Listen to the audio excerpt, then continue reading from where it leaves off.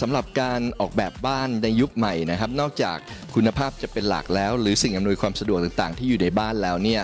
ความยั่งยืนการอยู่ร่วมกันอย่างกับสิ่งแวดล้อมนะครับหรือในคอนเซปต์ของบ้านล้อมสวนนี่ก็สำคัญเหมือนกันนะครับ ก็คือรอบบ้านก็จะต้องมีต้นไม้โดยเฉพาะยิ่งต้นไม้ใหญ่นะครับที่จะมาบังแดด แล้วก็การออกแบบบ้านที่จะต้องคำนึงถึงแสงที่จะสาดส่องเข้ามา ไม่ทำให้บ้านร้อนจนเกินไป และนอกจากนั้นนะครับเพื่อที่จะอยู่ร่วมกันกับโลกยุคใหม่ได้นะครับก็คือการใช้พลังงานทดแทนนั่นเอง ไม่ว่าจะเป็นโซลารูฟท็อปหรือพลังงานแสงอาทิตย์บนหลังคานะครับที่สามารถที่จะเปลี่ยนจากพลังงานแสงอาทิตย์เนี่ยมาเป็นพลังงานไฟฟ้า แล้วก็เอามาใช้ภายในบ้านด้วยล่ะครับ